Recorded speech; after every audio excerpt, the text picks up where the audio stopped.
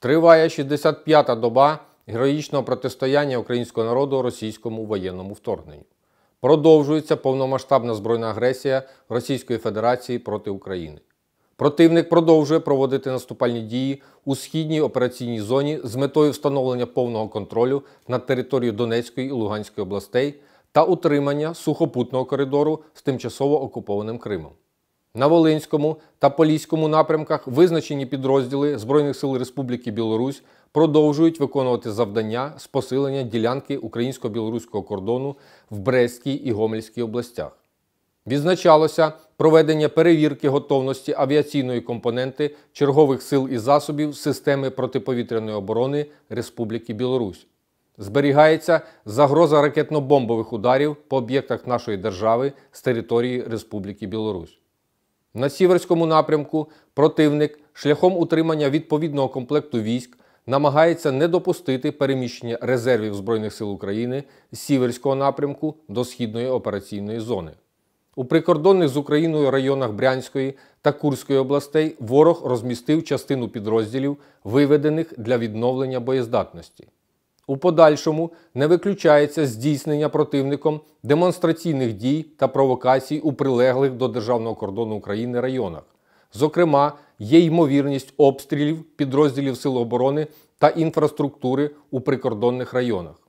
На Слобожанському напрямку вороже угруповання зі складу 6-ї загальновійськової армії, берегових військ Балтійського та Північного флотів основні зусилля зосереджує на утриманні займаних позицій у районі на північ та південний схід від міста Харкова. Намагається здійснити розгортання додаткових артилерійських підрозділів. На Ізюмському напрямку противник діє силами підрозділів зі складу 1-ї танкової армії, 20-ї загальновійськової армії Західного військового округу, 35-ї загальновійськової армії, 68-го армійського корпусу Східного військового округу та повітряно-десантних військ. Основні зусилля ворог зосереджує на веденні розвідки та завданні вогневого ураження підрозділам Збройних сил України. Для забезпечення додаткового перекидання військ на Ізюмському напрямку окупанти наводять додаткові понтонно-мостові переправи через річку Сіверський Донець. На Донецькому та Таврійському напрямках підрозділи противника намагаються вести наступ на Лиманському, Сєвєродонецькому та Попаснянському напрямках. Противник продовжує спроби встановити повний контроль над населеними пунктами Рубіжне та Попасна і здійснює підготовчі заходи до просування на Сєвєродонецьк. Противник продовжує артилерійські обстріли наших військ. На Курахівському напрямку угруповання окупантів посилено додатковими артилерійськими підрозділами зі складу 1-го армійського корпусу. На Маріупольському напрямку ворог продовжував завдавати авіаційних ударів по Маріуполю.